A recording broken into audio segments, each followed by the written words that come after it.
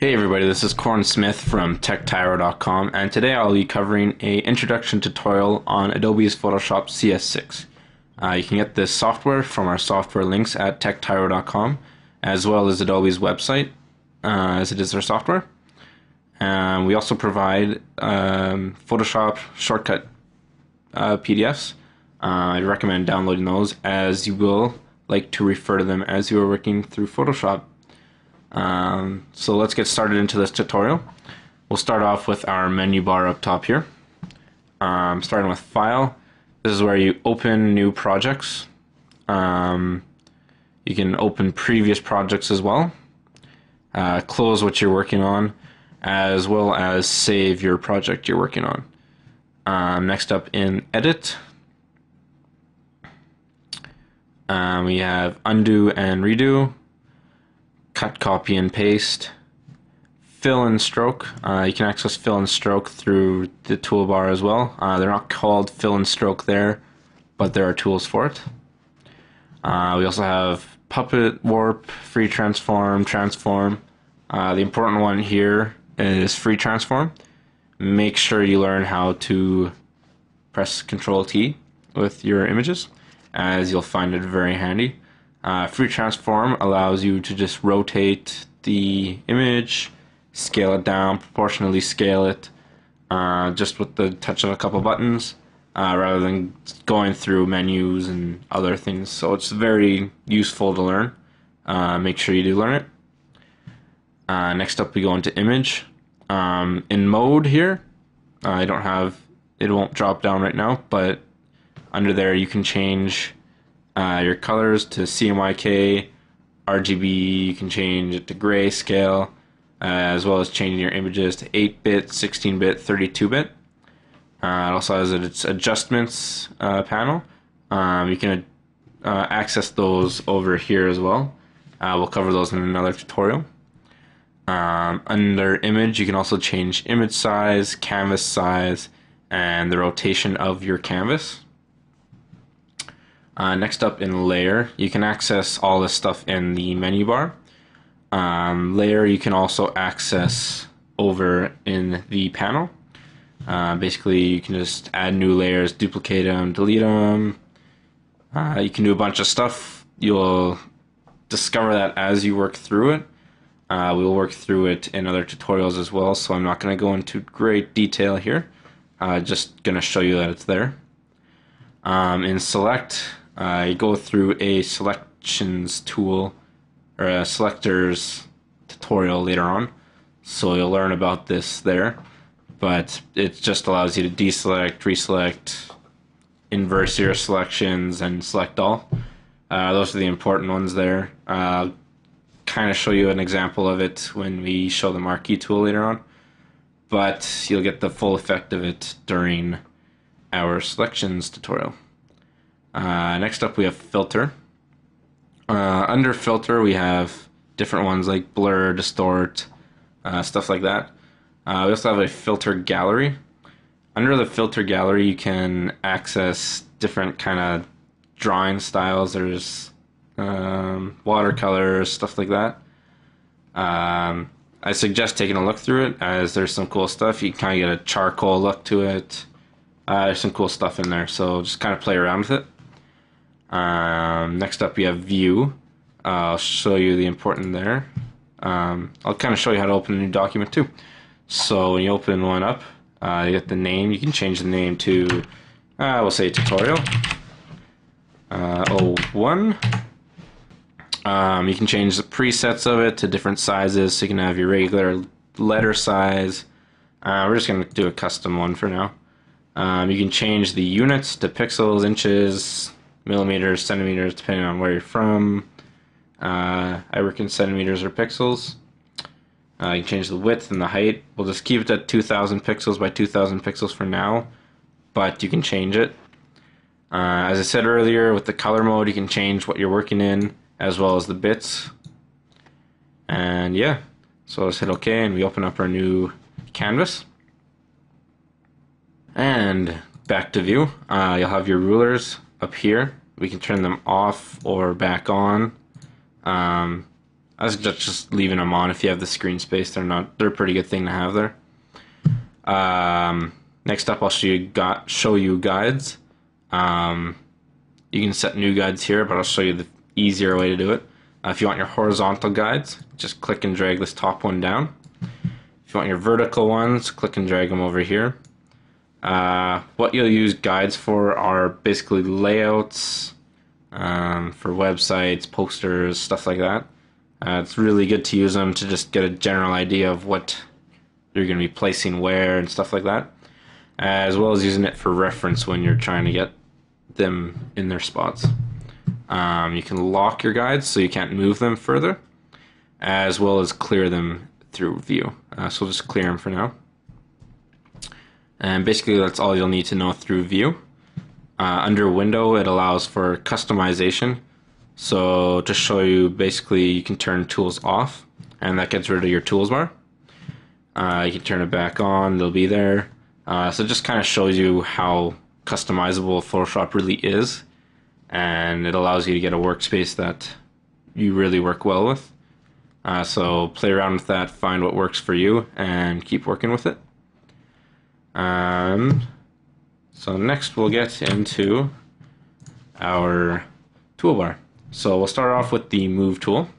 Uh, what this does is allows us to move images, uh, drawings, whatever you'll be working with. Um, yeah, just make sure you know how to use it as it proves to be very useful once you start getting into image editing. Um, you'll see the use very fast. Um, next up, we have our marquee tool. Uh, as I said earlier, we will cover these selection tools in another tutorial, but I will give a brief overview of how they work here. So basically, you'll draw your marquee tool selection area there. Um, what happens with your selection tool is this area becomes workable in. So you can color in here, place your images in there, but you can only work in here as you'll notice. You can't work on the outside. Um, you can inverse this through the select area, clicking inverse. Uh, this just makes this area not workable in, but rather the rest of it is selected and you can work on the outside. And you can just deselect through here as well. Um, that's pretty much your selectors and all you'll need to know in this tutorial. Uh, if you want to know more, make sure to watch our selectors uh, tutorial. Um, next up, we will cover our color picker. So let's say I'm coloring in red over here and I want to go back to yellow. I'll kick, click the color picker and I'll click there and you'll notice above the tool uh, that you'll find the color you're wanting, that yellow, and then your brush becomes that yellow and you'll be able to color with it again. Uh, so it's very handy when you're trying to get that exact color again. Um, yeah, so just make sure you know how to use that, uh, especially when you come to drawing. Uh, next up, we have our paintbrush tool. Um, yeah, if you're drawing, it is by far one of the most important tools that you'll ever use in Photoshop. Um, most of the artists that use it will say it is their best friend. Um, Photoshop comes with a lot of preset brushes, uh, but there is a lot of customization that goes along with it. So we will hopefully cover that in another tutorial soon. Um, but yeah, just play around with what you can find. Um, have some fun with it. Uh, so you can just color around and do some fun stuff with it. Uh, next up is eraser, and just as it sounds, it erases. Uh, so we'll erase what we have here.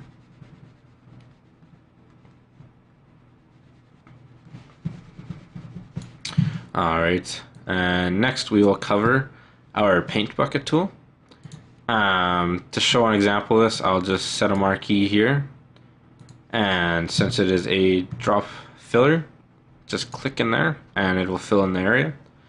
Um, this is really good for when you want to change your canvas color that you're working on. Say I want to make it red. I'll deselect what I have here and just click and our canvas is now red. So it's good for when you're trying to set up your canvases for different things. Um, yeah, so that's pretty much all there is to that. Um, next we have the gradient tool. Um, you just click and drag where you want the gradient to go. So you can have horizontal, vertical, diagonal. Um, just do horizontal for now, and that just kind of shows how to do that. Uh, you can edit that further through uh, the gradient panel. Uh, next up, we have the pen tool. Uh, the pen tool really shines in Illustrator. So if you really take a liking to the pen tool, I suggest switching to Illustrator as you'll get more out of it there. But it still serves a purpose in Photoshop, so we'll still cover it. Um, so basically, it's just the same as Illustrator. You have your handles, your object, and you can make these cool lines and stuff with it. Um,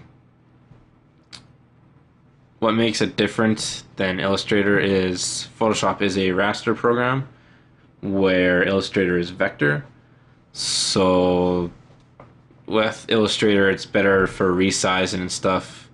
Um, they have smooth lines and not pixelated lines like Photoshop, but they still serve their purpose in both programs. Um, so yeah, it's pretty much all you need to know for the pen tool. If you want to know more information, go watch our Illustrator tutorial, as that's where you get the most information for it. Uh, next, we have the text one. Um, just change the size here. And say you want to type out tech tyro. And just hit the move tool, move it around. So yeah, text tool is just as you would expect. It's for fonts. Uh, you can change the size of it, what font you want, uh, color, change whether it's bold, italicized, all that fun stuff there. Um, next we have the direct select. Uh, just like Illustrator, uh, it's used mostly for your vector images. Uh, you can change where your handle is, so you can change the shape of it. Uh, you can select individual points to move those around. Um, whereas your just selection tool just moves stuff around. Uh, the whole thing, not just the points. Um, next up, we will cover the line tool. Um, basically it's just used to draw lines and stuff. It's not working for me right now, but it should work for you. Um, so yeah, it's just used to draw straight lines. You can do that with the pen tool, just easy though, clicking two points and straighten it out. Um, delete those. And next up we will cover the hand tool. Actually, first before that we'll cover the zoom tool.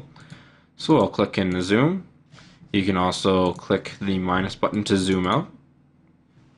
Uh, shortcut for that is just pressing Alt and using your scrolling wheel. Um, next up we will cover the hand. So let's say I was coloring here and I wanted to move over to the right. Uh, we click the hand tool and we can click over and move over on the canvas and get back to drawing up here. Uh, shortcut for that is just holding space. And that just allows you to click and move over.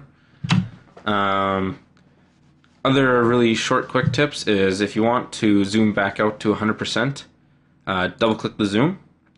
And if you want to center your canvas, double click the hand.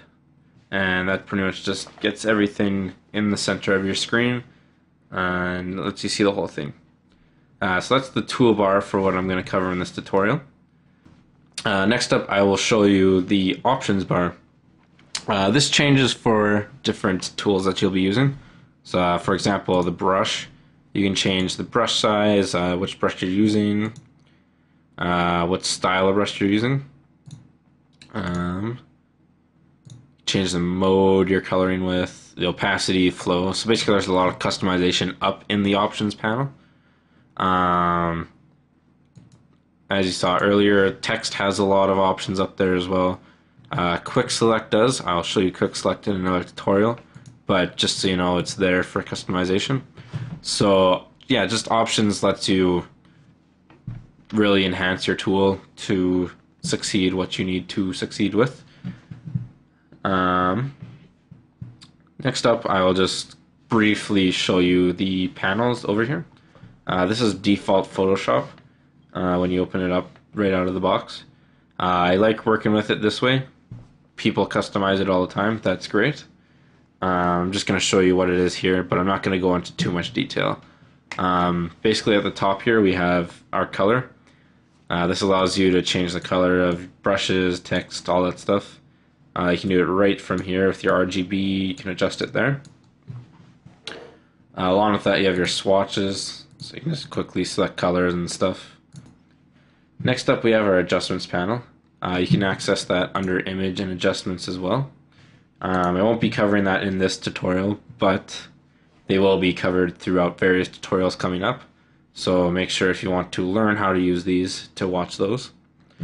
Um, we have our layers panel, uh, just like the layer up here. You can do all that stuff down here. Uh, some of the stuff you might have to right click like for merging and stuff like that. But you can access everything here that you could up in the layer bar. Um, that's pretty much all you need to know for the basic layout of Adobe Photoshop. I hope you enjoyed what you watched. Um, check out the other tutorials at techtyro.com. Uh, make sure to play around with Photoshop and have some fun with it. Um, from Techtyro, I'd like to thank you for watching this. And this is Corin Smith, and we'll see you later.